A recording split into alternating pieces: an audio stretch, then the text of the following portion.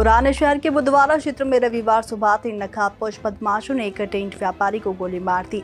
साथ ही तलवार डंडे से वार कर गंभीर रूप से घायल कर दिया, जिसके बाद व्यापारी को उपचार के लिए अस्पताल में भर्ती किया गया। इसी कड़ी में new police control room Bhopal में प्रेस वार्ता को संबोधित करते हुए डीसीपी जोन तीन श्री रियाज इकबाल द्वारा जानकारी दी गई।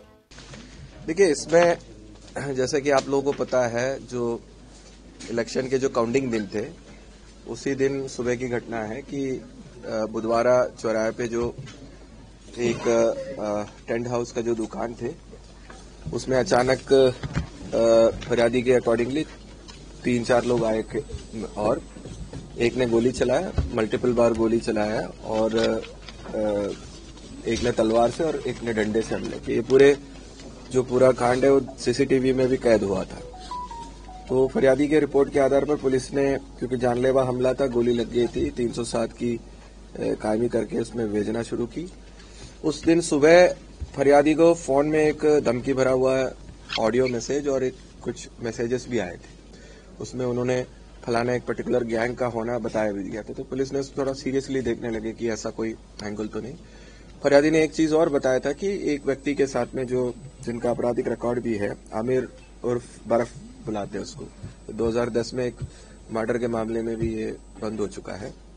तो उसका निरंतर उससे लड़ाई चल रहा था कि इस बात को लेते हुए कि जो दुकान उन्होंने खरीदा है 2017 या उससे पहले उन्हें 18 में खरीदा है उन्होंने तो वो उसी दुकान के लिए जो पुराने ऑनर थे, उनको इन्होंने एडवांस दिया था करके। और बार बार उसका पैसा इन्हीं से मांग रहे थे, जो दुकान अभी जो नया खरीदा, उन्हीं से वापस मांग रहे थे वो। तो इस बात को लेकर इनका एक पहले लड़ाई हुआ तो थाने में एक एक आध महीने पहले एक 323 का भी कायमी हुआ था। इनका आपस में झगड़ा हुआ था। बाद में जो अमीर और बर्फ़ का ब्रदर को भी चोट लगी तो एक काउंटर कायमी भी हुआ था मतलब तो जब ये बातें आई, एक पर्टिकुलर नंबर से मैसेज आया पुलिस को तो पुलिस उसकी जाँच में लगी रही। तो एक गाड़ी में एक सेंट्रो गाड़ी है, उसी में ये लोग स्पॉट पे आए थे। पुलिस ने उसको भी ट्रैक किया।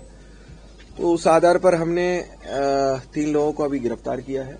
जो गिरफ़्तार हुए हैं, एक अहद है, एक कासिफ है और एक जमील है। और ये जमील वही व्यक्ति है जो उस वीडियो में तलवार से उनके ऊपर हमला किया था, वही व्यक्ति है।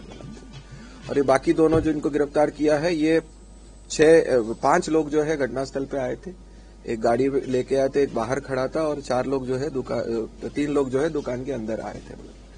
और ये किसका जो मुख्य षड्यंत्र जो है ये ये अमीर उर्फ़ बर्फ़ जो है जिसका भी आपराधिक रिकॉर्ड है जो जिनका उनके साथ जो विवाद चल रहा था क्योंकि ये व्यक्ति वहाँ पे मौजूद नहीं थे एक दूसरे जगह पे मौजूद थे आ, खास करके उस दिन जब इलेक्शन के काउंटिंग चल रहे थे उसके आसपास वहाँ पे वो थे तो वहाँ सीसीटीवी कैमरा भी लगी हो शायद उन्होंने सोचा होगा कि कि मैं वहाँ पे नहीं हूँ तो मेरे ऊपर नहीं आएगा करके। बट ये हमने पूरा हमारा जो साइंटिफिक जो एविडेंसेस जो हमारे सामने आई है, जो सारे सीडीआर का एनालिसिस और जो आपस में इनकी जो बात हुई है, और जो गिरफ़्तार हुए आरोपियों ने जो बयान दिया है, उसके आधार पर ये क्लियर हो गया कि ये पूरा प्लानिंग जो है इन लोगों ने किए थे, और इसको उन्होंने ये पाँच लोगों ने जाके अंजाम दिया था।